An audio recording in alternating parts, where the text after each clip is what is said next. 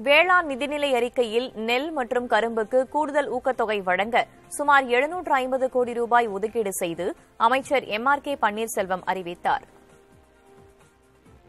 அதேபோல் வரும் ஆண்டு நெல் கொள்முதல் செய்ய தன்னரக நெல்லுக்கு குவிண்டால் ஒன்றுக்கு கூடுதலாக நூறு ரூபாயும் நூறு ரூபாயும் பொது ரக நெல்லுக்கு குவிண்டால் ஒன்றுக்கு கூடுதலாக எழுபத்தஞ்சு ரூபாயும் ஊக்கத்தொகையாக வழங்க ஐநூறு கோடி ரூபாய் ஒதுக்கீடு செய்யப்பட்டுள்ளது.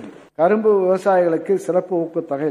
தமிழ்நாட்டில் உள்ள கரும்பு விவசாயிகளின் நலனை கருத்தில் கொண்டு இரண்டாயிரத்தி இருபத்தி ரெண்டு இருபத்தி மூணாம் அறவை பருவத்தில் ஒன்றிய அரசால் அரசால் அறிவிக்கப்பட்டுள்ள நியாயமான மற்றும் ஆதாய விலையான டன் ஒன்றுக்கு இரண்டாயிரத்தி எண்ணூத்தி இருபத்தி ஒரு ரூபாய்க்கு மேல் கூடுதலாக நூத்தி தொண்ணூத்தி அஞ்சு ரூபாய் தகுதியுள்ள விவசாயிகளுக்கு சிறப்பு ஊக்கத்தொகையாக மொத்தம் இருநூத்தி ஐம்பத்தி மூணு கோடி ரூபாய் வழங்கப்படும்.